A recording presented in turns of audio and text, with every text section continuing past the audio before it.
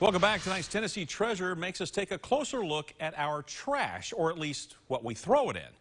Did you know that the dumpster was invented right here in Knoxville? According to Visit Knoxville, the dumpster was invented in the mid-1930s by George Dempster. He reportedly placed four of the dumpsters in the alley between Gay and Market Street, south of Union Avenue, where he knew Christmas holiday retail was about to get very busy.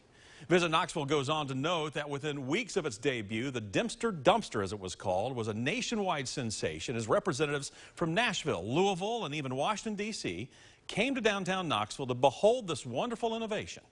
So the next time you toss something in the dumpster or you see one when you're out on your travels, just know it got its roots right here in Knoxville.